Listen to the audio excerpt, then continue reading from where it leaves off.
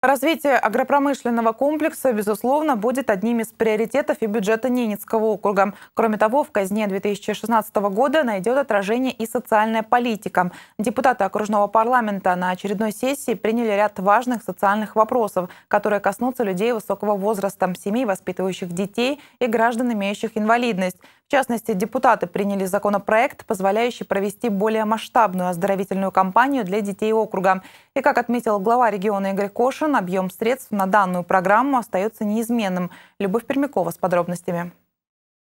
Ряд принятых законов социальной направленности в новом году коснется лиц пожилого возраста. Единовременная выплата ко дню пожилого человека гражданам, проработавшим на территории округа не менее 15 лет и достигшим 70-летнего возраста, заметно вырастет и составит 16 тысяч рублей. Увеличится и доходность неработающих пенсионеров. В целях установления социальной доплаты к пенсии на 2016 год принят закон об установлении прожиточного минимума для пенсионеров округа было принято решение о том, что на 2016 год мы устанавливаем э, размер прожиточного минимума в размере 16 510 рублей. До этого был в этом текущем году размер составлял 14 210 рублей.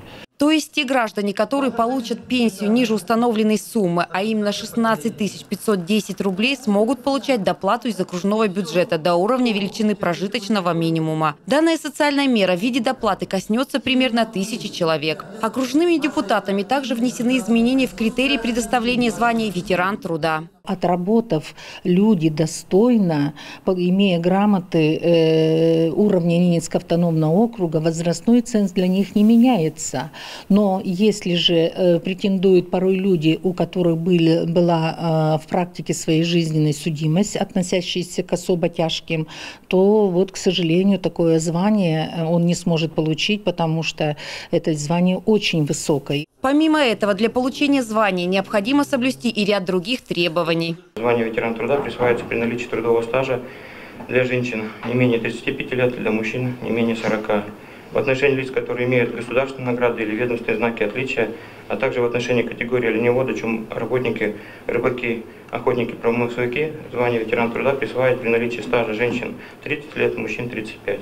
В новом году изменится и порядок предоставления путевок мать и дитя. Теперь воспользоваться таким правом могут дети, имеющие третью, четвертую и пятую группу здоровья. Мать и дитя путевка по-прежнему сохраняется, только лишь ребенок ограничится возрастом до 9 лет. Э, но тем не менее сопровождать ребенка э, может уже и бабушка и дедушка. Вот законно мы это приняли. Ранее воспользоваться таким правом могли дети до 15 лет. Уменьшение возраста сотрудники Департамента здравоохранения связывают с тем, что путевка мать и дитя дорогостоящая и составляет на ребенка и родителя более 100 тысяч рублей. На такую сумму поправить здоровье смогут 5 ребятишек. Начиная с 10 лет, теперь ребенок может отдохнуть в составе организованной группы, направляющейся на отдых в детский оздоровительный лагерь. Еще одно изменение касается детских выплат и затронет многодетные семьи выплата в размере 6 тысяч рублей родителю или иному законному представителю, совместно проживающему фактически воспитывающему ребенка, которому не предоставлено место дошкольной образовательной организации.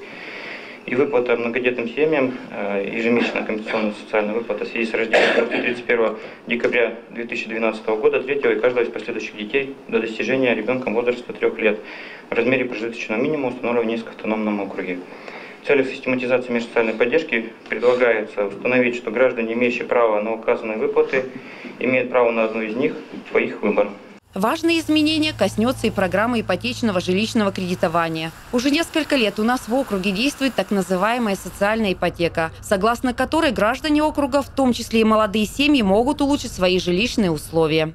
Но учитывая, что а, сегодня средства окружного бюджета а, идут в прежде всего на обеспечение мер первоочередников, э, основная очередь, она не движется. И сегодня она составляет примерно около тысячи человек. Поэтому сегодня принято на сессии окружного собрания депутатов решение о том, чтобы средства окружного бюджета – поровну направлять на очередь первоочередников и на основную очередь. В первую очередь войдут нынешние первоочередники, многодетные семьи, усыновители и семьи с ребенком-инвалидом. Во вторую – остальные категории. Бюджетное ассигнование планируется распределить между этими двумя очередями в равных долях. Условия предоставления мер социальной поддержки для лиц, имеющих инвалидность, в 2016 году тоже изменится. Теперь единовременную выплату ко дню инвалида в размере 10 тысяч рублей смогут получить граждане, прожившие на территории округа не менее 10 лет. Любовь Пермякова, Роман Делимарский, телеканал «Север».